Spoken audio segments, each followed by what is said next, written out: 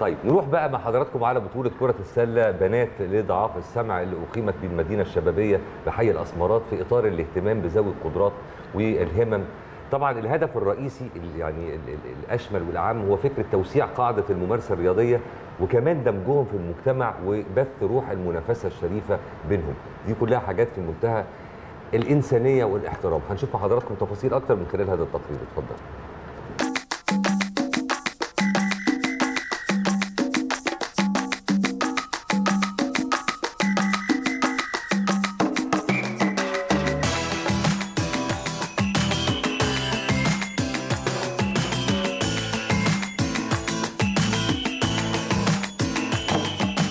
إحنا طبعا ال event ده بيقام تحت رعاية الدكتور أشرف صبحي وزير الشباب والرياضة. آه، إحنا بن بنجهز لل event ده بقالنا أكثر من ثلاث شهور من خلال آه، الشركة الراعيه اللي موجودة معانا بترعى الحدث والوزارة.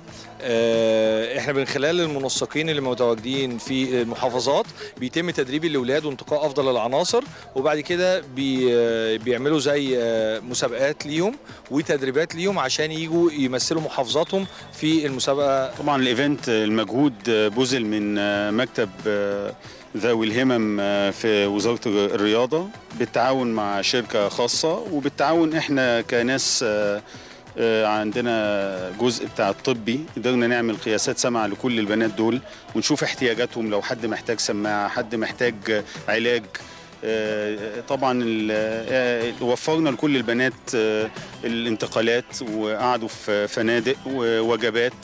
يعني و- يعني ال event كان ظريف جدا وقدرنا إن إحنا نجهز ال event وحاسين يعني شوفي حضرتك هم مبسوطين إزاي.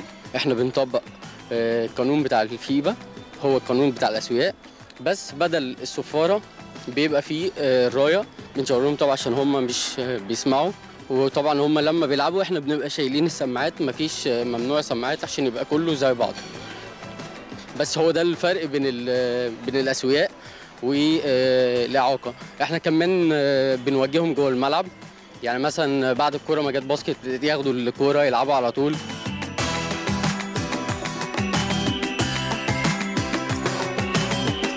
هي كل ما بتكسب كل ما النفسية معاها بتبقى بتعلى أكتر. تقول إن شاء الله كل ما اكسب ونكسب القاهرة هعلى أكتر وأكتر. هي نفسها تبقى تبقى في حاجة منتخب للسلة وتبقى منتخب مصر. تكون منتخب مصر.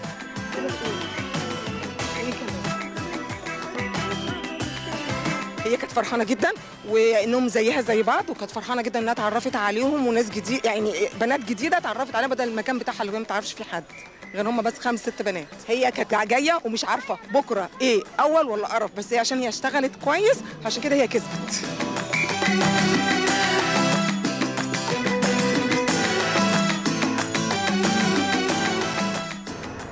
الأسمرات ده يعني زي ما حضراتكم عارفين طبعا هو ضمن مشروعات الدولة للقضاء على العشوائيات. نتكلم بلا يعني وطن بلا عشوائيات. فده كان مشروع محترم جدا وهو مفروض على ثلاث مراحل. وزي ما بيتقال كده كريم أنت بتنقل مش بس يعني جسديا شخص أنت بتنقل حياة. إحنا قلنا الكلام ده قبل كده بس لازم نفضل نقوله لأن النتائج إيجابية جدا على الأرض. يعني أنت بتشوف قد إيه ده ليه تأثير. بعد كده مش إن أنا نقلتك في حتة أفضل وريحتك لأ أنت مش بس القصة في كده أنت ثقافتك حياتك مستقبلك مستقبل ولادك إن هم يتربوا في مكان آمن مكان نظيف. زي ما بيتقال عليه على فكرة البعض بيوصفوا بيه آه، يعني منطقة سكنية خمس نجوم للي هم الفقراء. هم ده الناس هي اللي بتقول كده. يعني مش طبعا ده المسمى الأساسي. قد ما هو إحياء.